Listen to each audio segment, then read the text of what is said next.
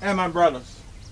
I heard David said just the other day, Oh, if I had wings like this dove, for then will I fly away and be at rest. Amen.